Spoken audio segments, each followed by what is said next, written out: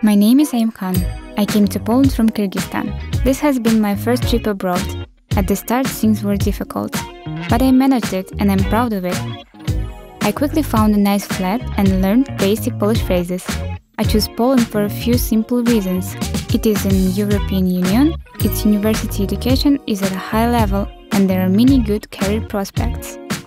My name is Kedist, and I'm from Ethiopia. I came to Katowice, Poland in February 2019. Every day I found something new here. I like going out and I like to observe the city. I study at WSB University. It's amazing that here I can meet so many people from around the world.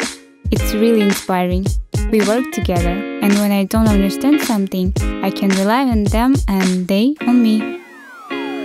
I heard about WSB University from my friend from Ethiopia who studied at the University of Poznań, Poland. At school, what I like most is that practice is as important as theory. I study on a regular basis. I don't like to leave studying for the last moment. I like the thing that I'm learning, and I know why I'm doing it. WSB University is a great opportunity for me. I want to use it to the fullest. I like to study intensively one week before the exam to keep knowledge fresh in my mind. As a graduate of WSB University, I'll get a diploma valid in the EU and in the rest of the world. I don't know exactly what I want to do in the future, but I know for sure that I want to help my people in Ethiopia. I want to come back to Kyrgyzstan and educate other women as IT specialists. Why women? Because it is a chance for them to be financially independent and for personal development thanks to WSB University that I have a chance to fulfill my plan. The university schedule is planned so well that we also have time for ourselves. I like to contemplate and inspire myself with art.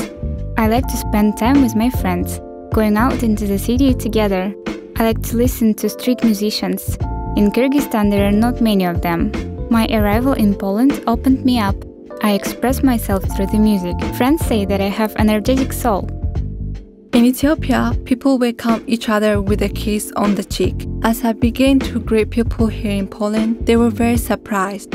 But my friends got used to it fast, and now they know that saying hello is not enough. I met my best friends in WSB University. We all have something to offer to other people. We came here full of hope and plans. Together, we study at WSB University and we know that we took a good decision.